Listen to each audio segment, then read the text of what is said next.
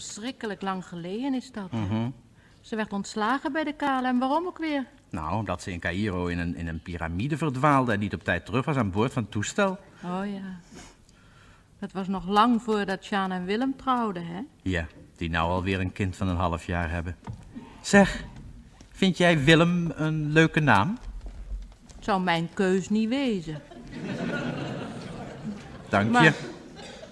Och, maar het is moeilijk hoor, om een naam te verzinnen voor een kind. Je kunt er maandenlang over zitten tobben.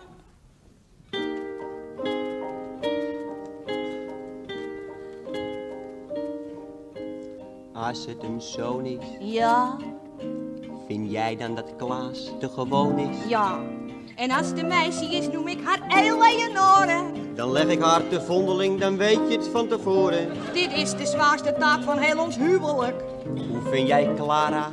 Afschuwelijk. Oh, hoe moet het heten? Hoe moet het heten? Wat jammer dat we dat nou nog niet weten. Het is lastig om een kind een naam te geven.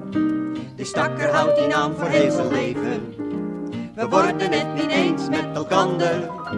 Gerrit, Herman, Joris, Doris, Floris, Alexander. Of enkel Jan of enkel Piet, we weten het niet.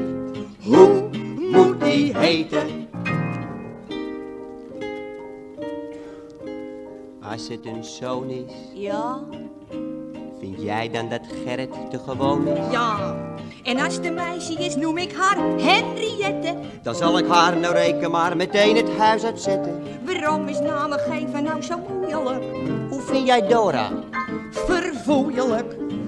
Oh, hoe moet het heten? Hoe moet het heten? Wat jammer dat we dat nou nog niet weten. Het is lastig om een kind een naam te geven. De stakker houdt die naam voor heel zijn leven. We worden het niet eens met elkander. Gerrit, Herman, Joris, Doris, Floris, Alexander. Of enkel Jan of enkel Piet, we weten het niet. Hoe moet die heten?